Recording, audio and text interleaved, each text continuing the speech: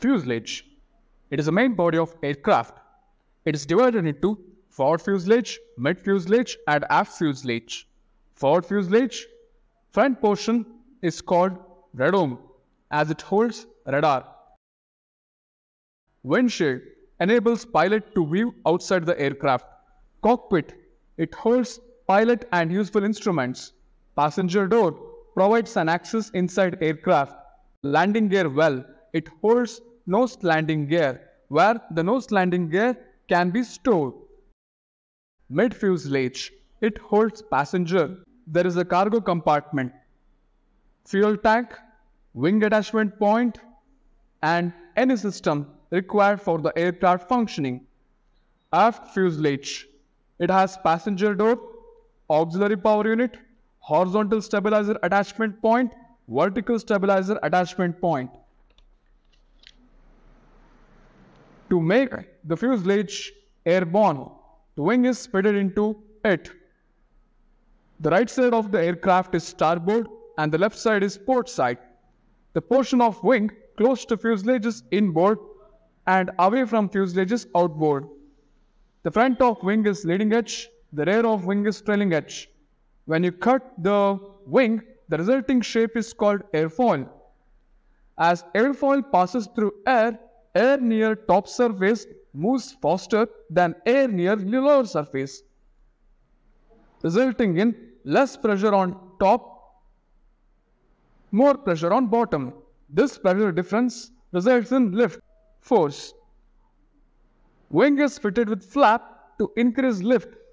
Slat and flap together called as high lift device.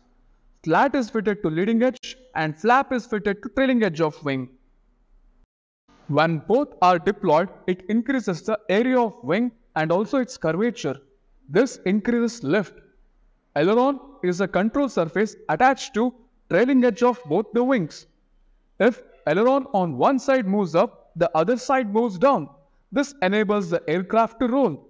Seeing the aircraft from its rear side or its back side, if our right aileron moves down and left aileron moves up, the aircraft will roll towards left. When left aileron moves down and right aileron moves up, the aircraft will roll towards right.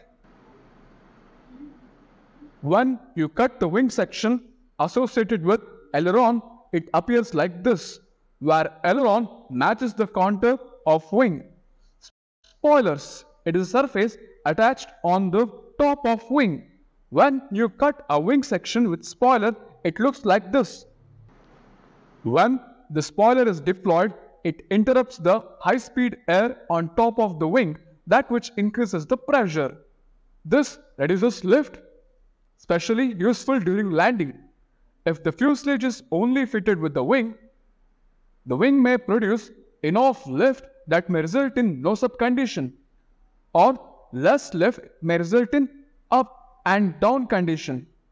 This may result in instability, causing unnecessary up and down movement.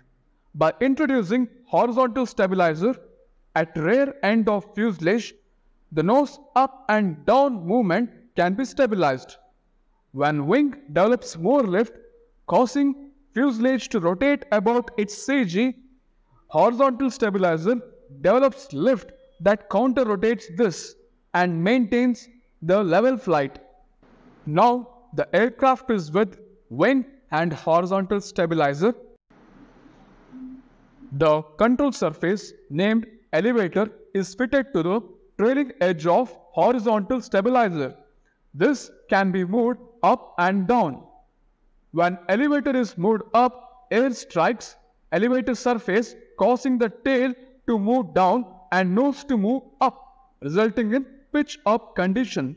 When elevator is moved down, it produces lift causing tail to rise and nose to move down. Here, the aircraft is pitching down. What if aircraft encounters the wind from side? This may move the aircraft sideward causing instability.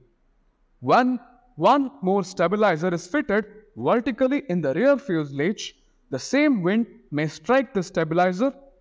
That results in lift force which enables the counter rotation against the sideward.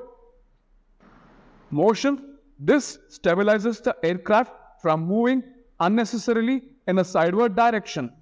This surface is called as vertical stabilizer. Vertical stabilizer is fitted with rudder at its trailing edge. This rudder can be deflected right and left. When deflected left, aircraft turns left. So here the aircraft is yawing left. When deflected right, aircraft turns to right. Now the aircraft is yawing right. To support the aircraft on ground, the landing gear is fitted into it. Nose landing gear is fitted to for fuselage. It is designed such a way that it can be stored within fuselage during flight. The links designed enable it to store and deploy. Main landing gear is located near fuselage wing junction. You can see both side view and front view here. The links and joints are arranged in such a way that it is shared between fuselage and wing, such that it can be stored in the wing fuselage junction. The arrangement of landing gear is called as tricycle landing gear configuration. Nose landing gear can be steered right or left. Main landing gear is located closer to CG and it carries about 90% of aircraft load on ground. The position of the corresponding gears can be seen here. Turbofan engine is covered with nacelle which is fitted to wing with the help of pylon. Here the engine enables the force called thrust